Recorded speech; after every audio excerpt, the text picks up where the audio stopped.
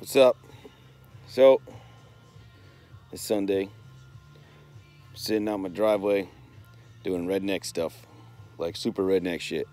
This is how redneck this is how redneck I am right now. You ready? We're gonna check we're gonna check a lot of boxes off right now. So we got two dogs. One's over here hanging out in the grass, laying down. The other one looks dead. Yeah, he looks dead laying on the deck in the sun, like he's just eating it up. So most of the deck furniture's off the deck right now. We had a fire pit going last night and all that shit. So he's up there taking advantage of that shit. I'm sitting down here in my flannel with my favorite hat. It's like my second favorite hat or third, but it's one of my favorites. My square-toed boots. And I'm watching this pot boiling in my yard. Oh, they're up now and uh, got my bear head in there. So I'm boiling the shit out of this. I don't know what I'm doing. I'm just, I'm just doing what the culinary world taught me to do, and then adding a little bit of shit at the end, I guess. So she's boiling good here. Turn it down again. So I got some borax in the pot with some water, just boiling away, and uh, I'm gonna do this till all meat can peel off this son of a bitch, and then. Uh, I guess I'm gonna cool it. I think I keep it warm and I'm gonna throw it into some mixture of hydrogen peroxide and some water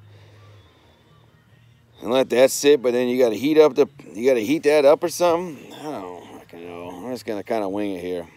So I don't need to look like I sent it out and had it done professionally. Like I don't I want it to look like it's like it's cool, like it's a goddamn skull on the ground, you know.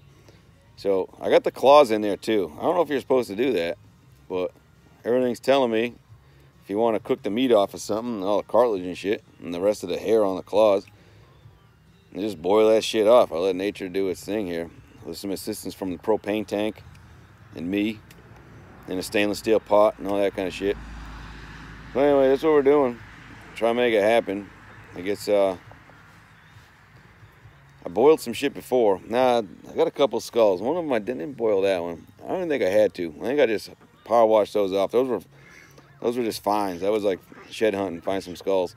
And then uh, I just bleached those out. Those came out pretty good, so I can't imagine this one will be any worse, you know. So we'll figure it out as we go. And then uh, that's it. Kind of want to start preparing for next year. Um, guy way on the other side of me has been baiting forever, I guess. So I'm not baiting for any out here. I'm gonna let him do the work. So I'll let him do the work, and then uh, I'll just go stalk them son of bitches. You know, stalk hunting's hard. It's hard, but um, we had a lot of rain. That makes a lot of things easier. You know, when those leaves aren't crunchy at all. Right now they're crunchy as hell. So, you, goddamn, you hit a golf ball mile in the woods right now, you're gonna hear it hit the ground because it's so crunchy out there. But uh, anyways, that's about it. Just doing this shit, getting ready for deer season. I gotta stalk me a buck this year, and uh, I've been working on one for a couple years now. I'm getting closer. Every you learn something new every day, you know. So I'm getting a little closer, and uh, see if we can make it happen this year. But I'm throw some more videos up. I'm trying to get some of this shit done, doing my redneck shit. Anyways, that's all I got for today. Listen to some tunes, doing redneck shit. Watch people drive by, honk the horn, and wave and shit. Except that guy. Except that guy. That's all I got.